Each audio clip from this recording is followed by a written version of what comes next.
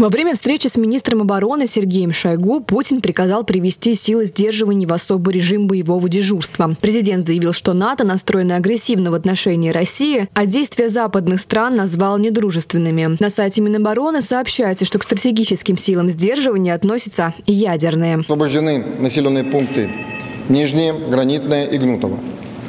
Российскими вооруженными силами с начала специальной военной операции поражены 1067 объектов военной инфраструктуры Украины. Российские военнослужащие проявляют мужество и героизм в ходе выполнения боевых задач специальной военной операции. К сожалению, есть погибшие и раненые наши товарищи. Но наши потери многократно меньше уничтоженных националистов – и потерь среди военнослужащих украинских вооруженных сил. Украина и Россия уже сели за стол переговоров. Пока подробности не сообщается. Все решается за закрытой дверью и без журналистов. До встречи делегации с кабинета переговоров велась прямая трансляция, которую смотрели, кстати, 390 тысяч зрителей. Однако вошла женщина в белом пиджаке и потребовала ее выключить, ведь, по ее словам, это заранее не оговаривалось, сообщает портал «Урал-56». Уважаемые друзья, президент Беларуси просил встретить вас, приветствовать и обеспечить максимально вашу работу.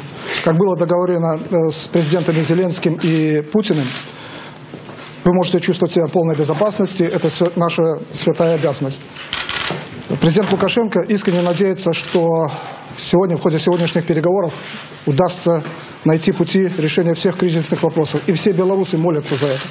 Любые ваши просьбы и предложения – касающиеся организации сегодняшней встречи, сегодняшней встречи будут приняты и э, беспрекословно исполнены. Евросоюз полностью закрыл воздушное пространство для России. Теперь самолетам запрещено пролетать мимо стран Союза, приземляться и взлетать. В России уже отменила все рейсы в Европу авиакомпания «Аэрофлот». Кроме того, полетов не будет и в США, Мексику, Доминикану и на Кубу до 2 марта. Пассажиры могут оформить вынужденный возврат денег за билеты. Другие крупные авиакомпании тоже начали перестраивать полетный маршрут, чтобы не затронуть европейские территории. Ванесса Петерс, городской телеканал ЮТВ.